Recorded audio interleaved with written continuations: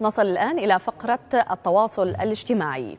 فبعد 523 عاما على سقوط الأندلس أحيا رواد الإنترنت هذه الذكرى عبر مواقع التواصل الاجتماعي مطلقين عدة مبادرات. وفي ذات الوقت احتفت بلدية غرناطة في هذا اليوم باحتفالات رسمية واجهتها مظاهرات مناهضة من تيارات حقوقية.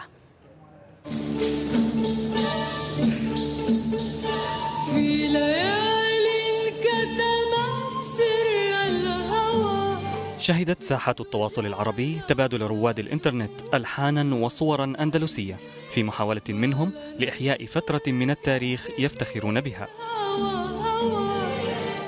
في فترة يعج فيها العالم العربي بالأحداث الصعبة لم يخلو النقاش من جدلية الاحتلال أو الفتح الأندلسي.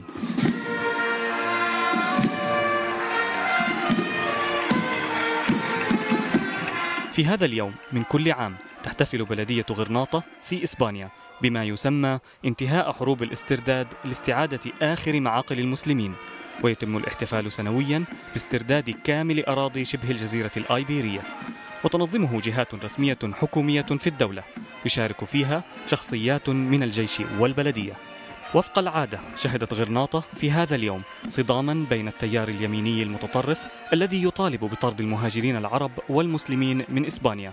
وتقابلهم تيارات حقوقية مناهضة وفي المقابل شهدت مواقع التواصل الاجتماعي في العالم العربي تصاعدا في إحياء هذه الذكرى عبر عدة هاشتاجات منها ذكرى سقوط الأندلس والنكبة الأندلسية لماذا احتل العرب الأندلس مثلا؟ وهل حقا استعادها أهلها؟ وأين كانت الدولة العثمانية؟ لماذا لم تنقذ الأندلس؟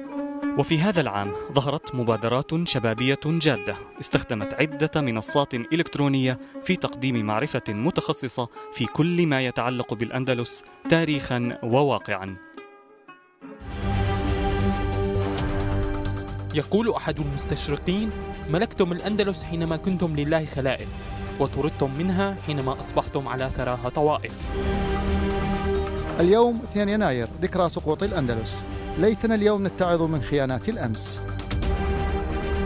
احتليتم بلدهم واستردوها منكم. وين المشكلة في الموضوع؟ ولا اسمه احتلال في فلسطين ودولة في إسبانيا؟ المورسكيون الأندلسيون المنسيون والمنتشرون في شمال إفريقيا وأوروبا وتركيا. حان الوقت لإبراز قضيتهم ومناصرتهم بحقهم بالعودة.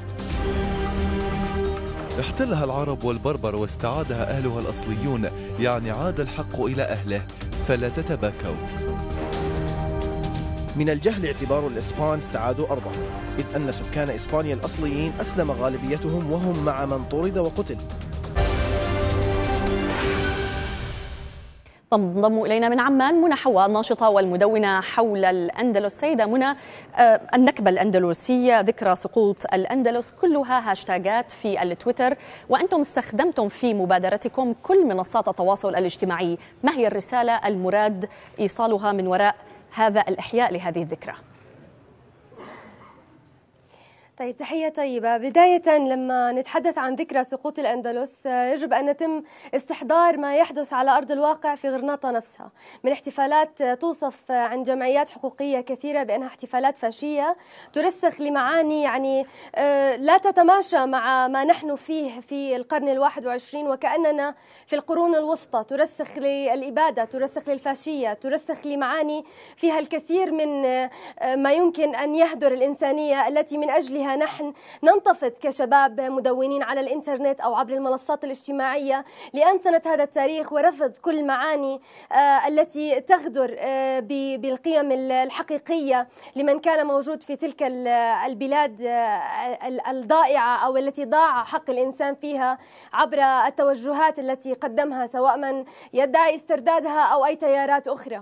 فأهم ما يمكن أن نقول عنه أنه الهدف الأساسي للتدوين حول الأندلس في هذا اليوم بعث روح الأندلس بصورة أكثر حضارية بصورة أكثر آه، آه، وعيا وثقافة آه، لنحفظ هذه الهوية عبر إحيائها. بالنهاية التاريخ هو حوار بين الماضي والحاضر وهو أمر مستمر ولأجل ذلك نحن ندور. في ذكرى هذه المناسبة جرى تواصل جرى التعامل معها في منصات التواصل الاجتماعي بجدلية كما أشرت إليها. ضعينا في هذه الجدلية بين من اعتبرها حقبة مضيئة في تاريخ العرب وبين من رأى فيها غير أحقية لتواجد العرب في ذلك المكان واعتبره البعض أنه احتلال. البعض يتعامل مع التاريخ بقوانين الأمم المتحدة اليوم وهذا يعني نوع من الجهل المفرط ليس في التعامل مع التاريخ المنتمي للتاريخ العربي أو التاريخ الإسلامي وككل ككل يعني. نحن نتعامل مع التاريخ وفق السياق التاريخي وليس وفق أحداث وقيم ومبادئ سياسية موجودة في عصرنا الحالي وضعتها الأمم المتحدة أو خلافه. كلمة آه، يعني جدلية الاحتلال والفتح تخضع لمعايير أخرى لا تتعلق فقط بجهل القيمة التاريخية أو جهل الأحداث التاريخية. التي وقعت آنذاك أو جهل يعني تبعيات هذا الأمر بقدر ما هو جهل في فهم التاريخ ووعيه نفسه لذلك في هذا اليوم بعد خمس سنوات من إطلاق مبادرة للتدوين حول الأندلس وبالطبع كان هناك فعاليات قبل هذه السنوات آه، تبناها بعض الأشخاص وبعض الجهات الحقوقية وغيرها لكن أنا أتحدث عن مبادرة. آه، تتعلق بالنشاط الاجتماعي عبر الشبكات الاجتماعية آه، الهدف الأساسي أنه بعد خمس سنوات من هذا التدوين قررنا نحن- وفريق أندلسي الذي يشكل مجموعة من الشباب المتمر في في عدة دول حول العالم أنه نقدم شيء في أكثر من الصلابة وأكثر من جدية وفي معرفة ثقيلة قادرة على الرد على هذه الأمور بطريقة آه،. يعني ممنهجة وعلمية حتى لا لا نضيع كل سنة آه، في جدليات لا قيمة لها بدل من التركيز على المعنى والهدف الأساسي ينظر البعض هذا التاريخ. والحديث عنه ينظر البعض إلى محاولاتكم للإضاءة على هذا الجانب المشرق والمضيء آه، في التاريخ العربي في محاولة للهروب ربما إلى آه، هذا ال- الجانب من التاريخ في ظل ما يشهده العالم العربي من حالة انحسار وحالة كئيبة ربما. كيف تنظرون إلى الدروس والعبر التي يمكن استقاؤها والإسقاطات التي يمكن استخدامها على واقعنا العربي؟ ربما يكون المزاج العام في العالم العربي ليس مزاجا قادرا على عكس صورة إيجابية في كثير من لكثير من الاعتبارات. لكن مع ذلك نحن لا نعتقد أن هذا هروبا عن الواقع. كل القضايا تتكامل ولا تتجزأ. ولذلك قررنا في هذا اليوم إطلاق ثلاثة مبادرات. هي مبادرات معرفية قادرة على آه، آه، تقديم آه، شيء يعني نستطيع الاستفادة من خلاله. ليس ليس في في حاضرنا أو ماضينا إنما كقضية أساسية لوحدها آه، قائمة في ذاتها آه، وجود أي خطوب أخرى حول حولنا. لا يعني أن هناك قضايا يجب أن تنسى. كل القضايا لا تسقط بالتقادم إنما تبقى و- ويحشد لها. ولذلك آه، أطلقنا ثلاثة مبادرات. المبادرة الأولى موقع أندلس dot com والذي يقوم على تحريره مجموعة متخصصة وكبيرة من المدونين الشباب والمهتمين باسم فريق أندلسي. والمبادرة الثانية برنامج اسألني عن الأندلس وسينزل باسم هذا الهاشتاج اسألني على الأندلس آه، برنامج تنتج شركة Easy Production في الرياض. سينزل إن شاء الله في تمام الساعة التاسعة آه، بتوقيت. مكة. أما المبادرة الثالثة فستكون سلسلة من الملتقيات المعرفية. تبدأ بالدوحة يوم 18 إبريل آه، المقبل بتنظيم من الصديقة هبة أبو ستة. وبرعاية مركز دراسات الدراسات والتشريع الإسلامي والأخلاق هناك إن شاء الله. وسيكون هناك ملتقيات معرفية تؤسس أشكرك. لباحثين وتؤسس ل آه، إن شاء الله في عدة عواصم عربية أخرى بإذن الله تعالى. من عمان منى حواء الناشطة والمدونة. حول من الأندلس. شكرا لك.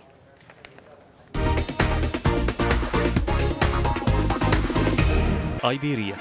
وتنظمه جهات رسمية حكومية في الدولة يشارك فيها شخصيات من الجيش والبلدية.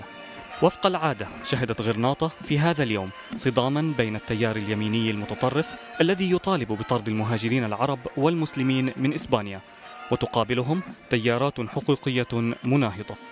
وفي المقابل شهدت مواقع التواصل الاجتماعي في العالم العربي تصاعدا في إحياء هذه الذكرى عبر عدة هاشتاجات منها ذكرى سقوط الأندلس والنكبة الأندلسية لماذا احتل العرب الأندلس مثلا؟ وهل حقا استعادها أهلها؟ وأين كانت الدولة العثمانية؟ لماذا لم تنقذ الأندلس؟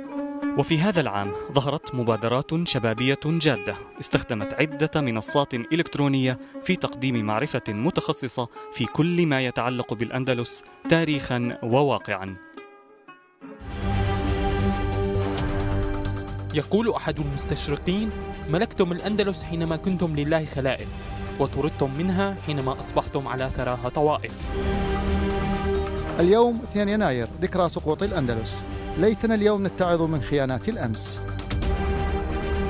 احتليتم بلدهم واستردوها منكم. وين المشكلة في الموضوع؟ ولا اسمه احتلال في فلسطين ودولة في إسبانيا؟ المورسكيون الأندلسيون المنسيون والمنتشرون في شمال إفريقيا وأوروبا وتركيا.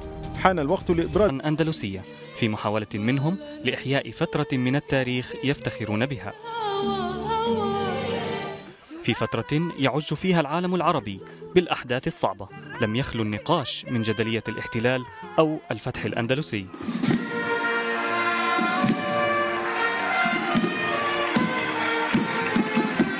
في هذا اليوم من كل عام تحتفل بلدية غرناطة في إسبانيا بما يسمى انتهاء حروب الاسترداد لاستعادة آخر معاقل المسلمين.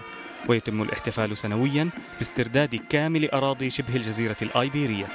وتنظمه جهات رسمية حكومية في الدولة يشارك فيها شخصيات من الجيش والبلدية. وفق العادة شهدت غرناطة في هذا اليوم صداما بين التيار اليميني المتطرف الذي يطالب بطرد المهاجرين العرب والمسلمين من إسبانيا وتقابلهم تيارات حقوقية مناهضة. وفي المقابل شهدت مواقع التواصل الاجتماعي في العالم العربي تصاعدا في إحياء هذه الذكرى عبر عدة هاشتاجات منها ذكرى سقوط الأندلس والنكبة الأندلسية لماذا احتل العرب الأندلس مثلا؟ وهل حقا استعادها أهلها؟ وأين كانت الدولة العثمانية؟ لماذا لم تنقذ الأندلس؟ وفي هذا العام ظهرت مبادرات شبابية جادة استخدمت عدة منصات إلكترونية في تقديم معرفة متخصصة في كل ما يتعلق بالأندلس تاريخا وواقعا عدة مبادرات. وفي ذات الوقت احتفت بلدية غرناطة في هذا اليوم باحتفالات رسمية واجهتها مظاهرات مناهضة من تيارات حقوقية.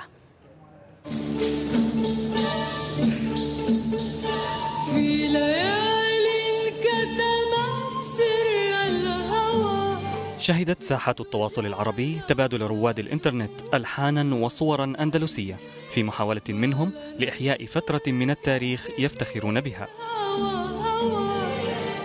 في فترة يعج فيها العالم العربي بالأحداث الصعبة. لم يخلو النقاش من جدلية الاحتلال أو الفتح الأندلسي.